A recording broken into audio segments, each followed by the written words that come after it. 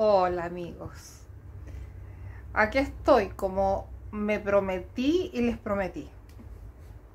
Siempre es bueno comunicarse. Les doy las gracias porque nunca me imaginé que iba a tener tantas vistas con algo tan sencillo. Y nuevamente les contaré algo muy, muy especial que me pasó hoy y quiero compartirlo.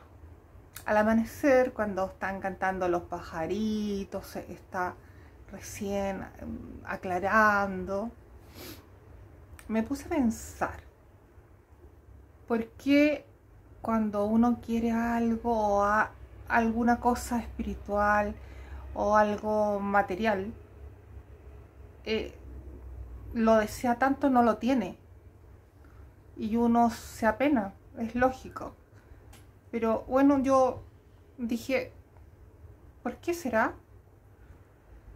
Y llegué a la conclusión, porque hoy día me pasó, esto estoy hablando yo desde al, madrugar. Cuando uno desea algo y no está, es porque no tiene que estar. Es porque viene algo mejor. Es porque las cosas llegan en su justo momento. Esa es la verdad. Y lo comprobé en la tarde.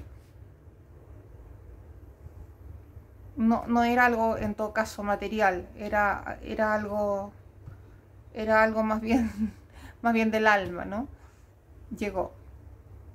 Claro, yo y llegó. ¿No?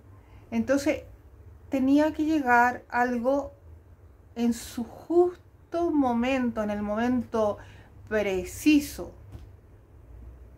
Es lo que yo pienso y me convencí hoy. Muchas veces lo pensé, muchas veces, que las cosas tenían que llegar cuando tenían que llegar y otras veces no, porque em, ¿qué habré hecho? No lo hice tan bien como para no obtenerlo, qué sé yo. No, las cosas llegan en el momento en que tienen que llegar. Esa es la verdad. Entonces, esa ansiedad, hay que, esa vibración de ansiedad hay que bajarla y decir, no importa, ya viene lo que me corresponde, ya viene y voy a estar tranquila. Eso. Ese sería mi mensajito de hoy. Si piensas que estoy equivocada, me lo comenta. Y conversamos. Yo lo leo. Un besito, un abrazo desde Chile y gracias por estar. Enorme abrazo.